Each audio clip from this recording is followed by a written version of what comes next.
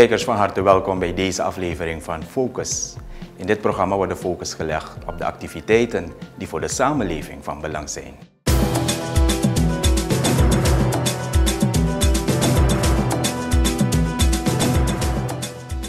Vandaag in Focus. Vicepresident Michael Ashwin Adin woont receptie Indiase ambassade bij.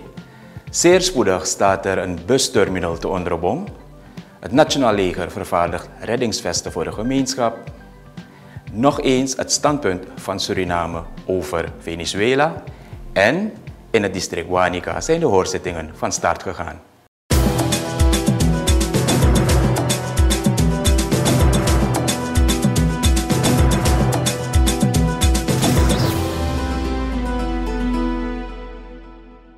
Vicepresident Michael Ashwin Adin vertegenwoordigde president Desiree Delano Bouterse bij de herdenking van de 70ste dag van de Republiek India.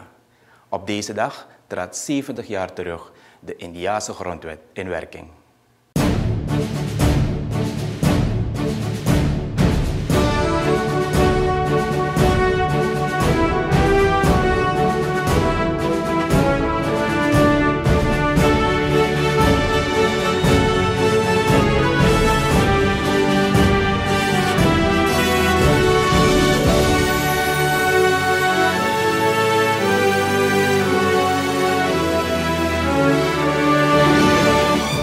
I most gratefully warmly welcome all of you to the celebration of the 70th Republic Day of India this evening. On behalf of government and people of India and my colleagues in the embassy and Swami Vivekanand Cultural Center, permit me to take this opportunity to wish all of you and the nation of Suriname a happy, progressive, and constructive New Year 2019. Excellencies, ladies and gentlemen, this is the day on which the father of the nation, Mahatma Gandhi, declared the independence of India in 1930, 17 years before India was returned to Indians. To the health and happiness of His Excellency, the President of the Republic of Suriname, to the peace, progress, and prosperity of the people of Suriname and to the abiding friendship and cooperation between India and Suriname.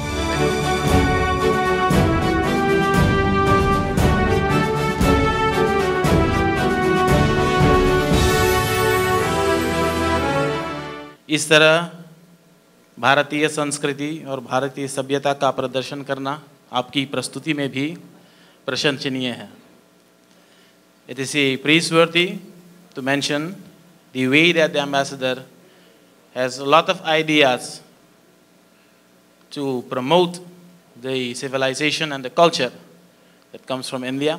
The names that he has expounded today to here are names that resonate in our history with very great example of life's life history and life experiences.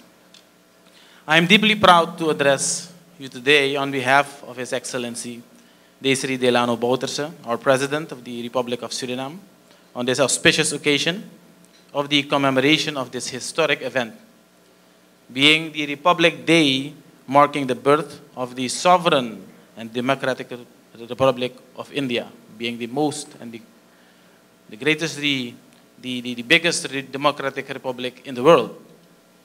Seven decades ago, on January 26, 1948, 9, the Indian Constitution was adopted, guided by the basic principles of the rule of law and the righteousness of every citizen. Every citizen's democratic values and norms which are pivotal for a balanced social economic development.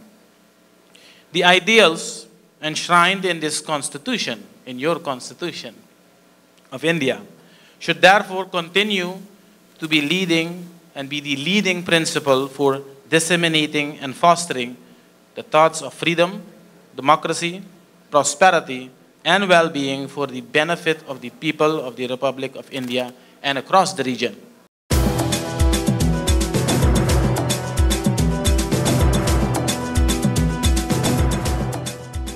Gelet op de actualiteit vinden wij van Focus het noodzakelijk om nogmaals aandacht te vragen voor het standpunt van Suriname in de kwestie Venezuela.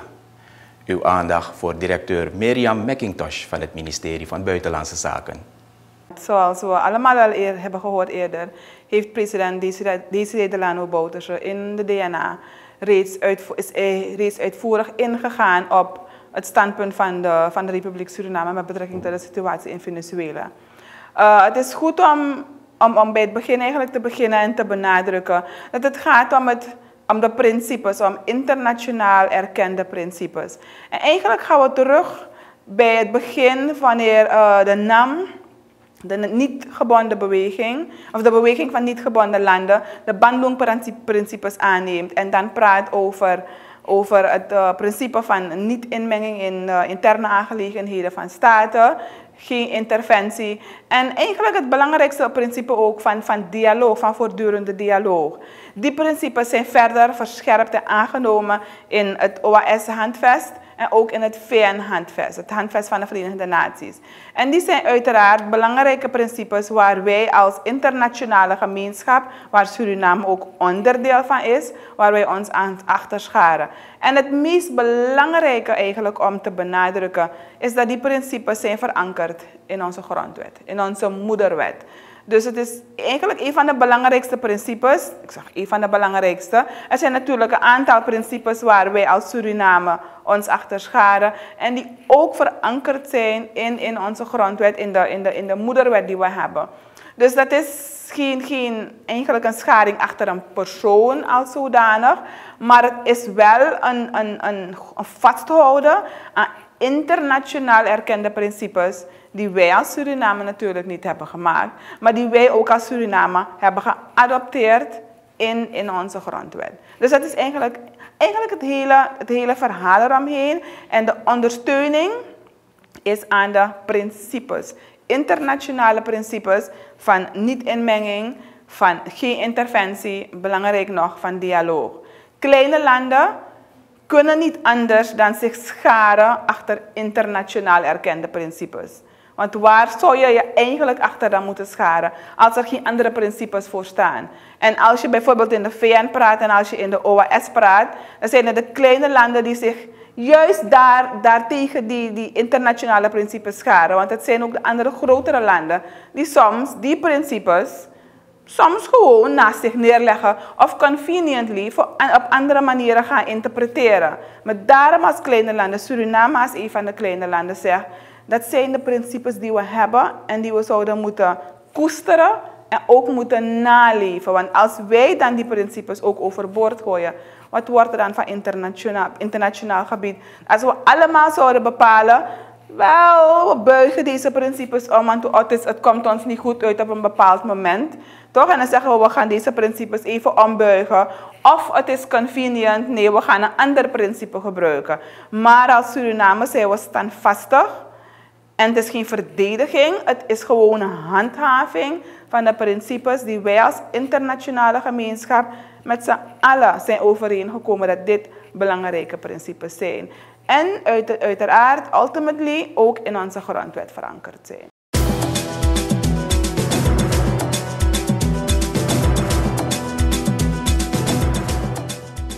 Burgers van het resort Nieuwe Grond in het district Wanica zijn tijdens de hoorzitting in de gelegenheid gesteld om voorstellen te doen voor het aanpakken van vraagstukken in hun woon-, leef- en werkomgeving. U krijgt hiervan het volgende verslag.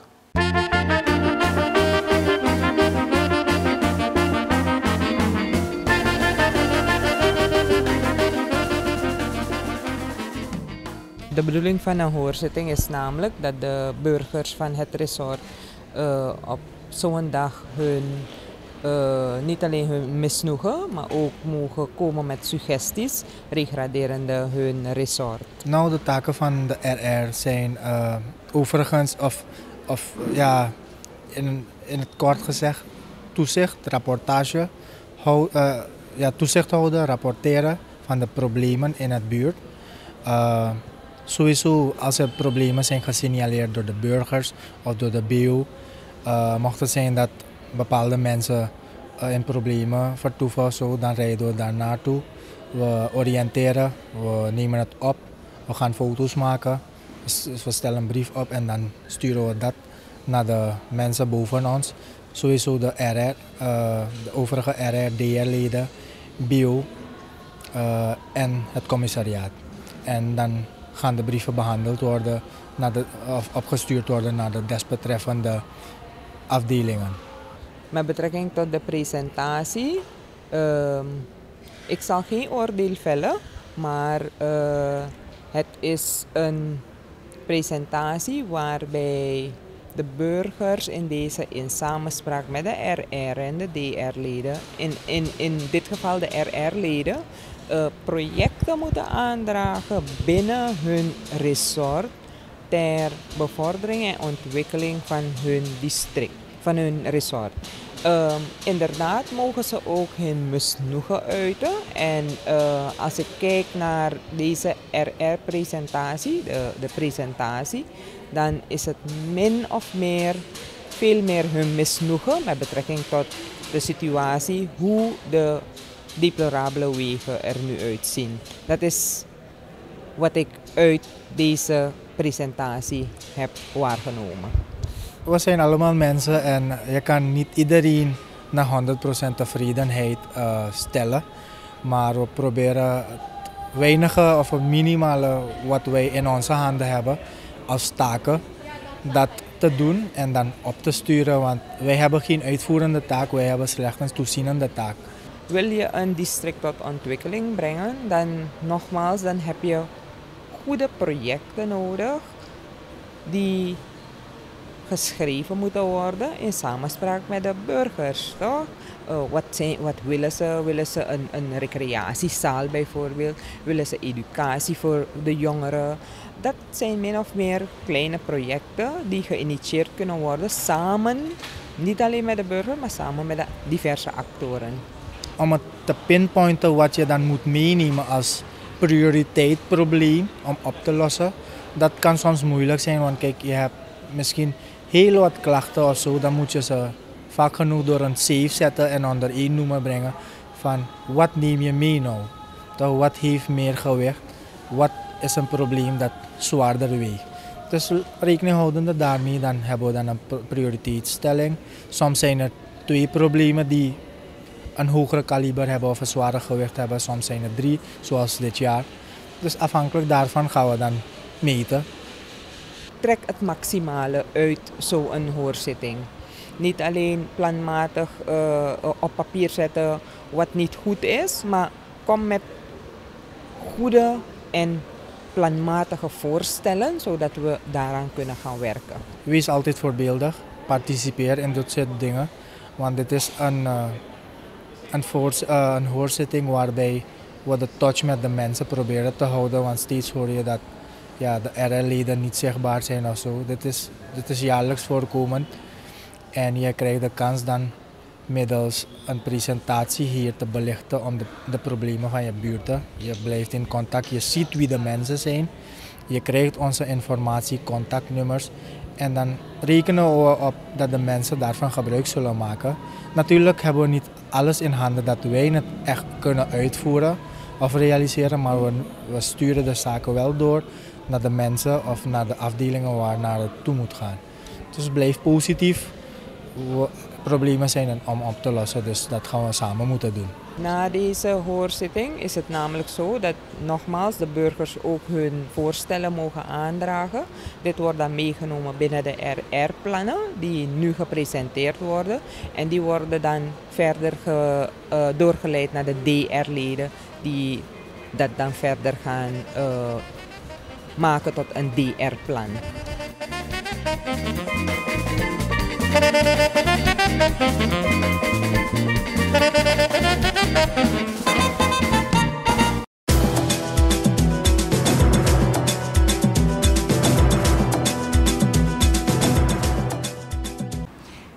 Steeds naar Focus. Als we kijken naar de busterminals, de onderbong van vroeger en nu, dan ziet u dat er een verandering heeft plaatsgevonden. Meneer Mohan van het ministerie van Openbare Werken, Transport en Communicatie vertelt aan ons hoe de werkzaamheden tot nu toe zijn verlopen. Waar we nu staan is eigenlijk blok 2 van drie blokken van uh, Dr. Edmondstraat, waar we in september 2016 zijn begonnen met eerst het algeheel vervangen van de rioleringen onder deze blokken. Uh, we hebben hier uh, twee grote duikers aangelegd. En la langs, de, uit, langs de straatzijde nog een extra riool waarop de straat wordt aangesloten. Dat gedeelte is met de regens in de afgelopen was dat heel vertraagd verlopen. En daarna hebben we de bovenbouw, dat is eigenlijk de bestratingen en de voorzieningen om een gedeelte over te overkappen uitgevoerd. En nu zijn we eigenlijk de, leggen we langs de hand om het een en ander voor dit, deze blok blok 2 af te ronden. Dat is tussen de Hofstraat en de Waldijkstraat. Is de deadline voor blok 2 wel haalbaar? Ja, we werken erna. Dus, en de bedoeling is op 1 februari te werken aan uh, oplevering. En dat het in tweede week maart helemaal, helemaal gebruiksklaar is voor de bushouders. Is het ministerie tevreden met de werkzaamheden, hoe ze tot nu toe zijn verlopen? Deels wel. Het kan allemaal ook sneller. Uh, een paar zaken zijn eigenlijk een beetje logistiek-wise zijn ze een beetje misgelopen. Dat zijn met bestellingen van bijvoorbeeld stalen kapdelen en dat, is, dat heeft een deel van de overkappingen opgehouden. Maar nu is de aannemer heeft zich gecommitteerd om alles af te ronden. Dus we hopen dat en we werken er naartoe om alles af te ronden. Omdat eigenlijk voor de gemeenschap is dat hier gebruikt wordt. Het heeft geen zin dat het leeg staat en dat er bus, geen bussen en personen die de bus gebruiken, gebruik van hier kunnen maken. En tijdens de uitvoering hebben jullie obstakels ondervonden? In het geheel was bij het aanleggen van de riolering was de regen het grootste obstakel. Vanaf dit gedeelte waar we bovengrond zijn gekomen, eh, minder. En de obstakels die er zijn, zijn meer logistiek geweest met bestellingen en uh, het op tijd krijgen van materialen hier. Een groot deel van wat we hier zien is vanuit het buitenland gekomen. En dat heeft verscheping en constructie daarvan heeft veel tijd in beslag genomen. U geeft aan dat hooguit eind februari de werkzaamheden van blok 2 afgerond moeten zijn. Hè? Um, wanneer starten de werkzaamheden van blok 3? Blok 3 is uh, denk Waldijkstraat, uh, Zwart Die moet uh, eigenlijk komende weken ook afgerond wordt. Dat is de bestrating en alle rioleringswerken. En dat dan ook gestart wordt met de bovenbouw. Dat is ook de overkapping. En de aannemer heeft ons beloofd en om april dat gedeelte af te hebben, want alles is al besteld. Zodat dat komt in één lading met wat nog hier erbij hoort.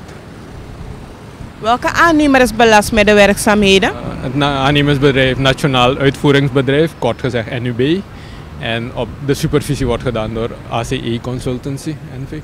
Zo blok 2, waar we nu staan, daar is aan de overkapping komen direct twee kantinegedeeltes waar mensen versnaperingen en uh, drank kunnen kopen. Misschien ook de krant of wat dan ook. En blok 1, dat is uh, richting Zwarthoevenbrugstraat, daar krijgen we een toilettengroep. Openbaar toilet.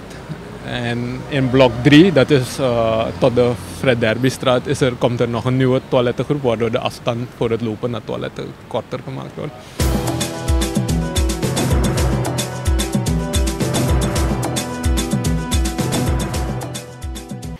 Helaas is gebleken dat boothouders en passagiers de veiligheidsvoorschriften niet helemaal in acht nemen. Vaak genoeg gaat men voorbij aan het gebruiken van de reddingsvesten in de volksmond wel eens zwemvesten genoemd. Het ministerie van Defensie heeft in dit kader een project in voorbereiding om het bewustzijn binnen de gemeenschap te vergroten. Focus sprak eerste luitenant Manising.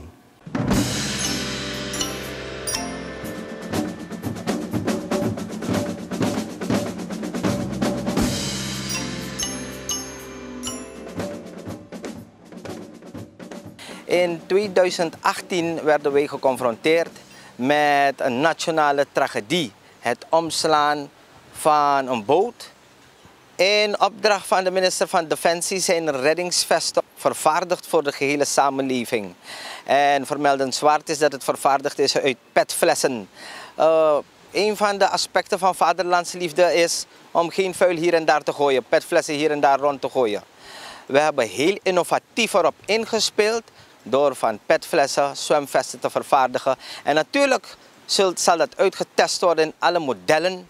We zijn nog steeds in het proces van het vervaardigen van andere modellen met betrekking tot de reddingsvesten.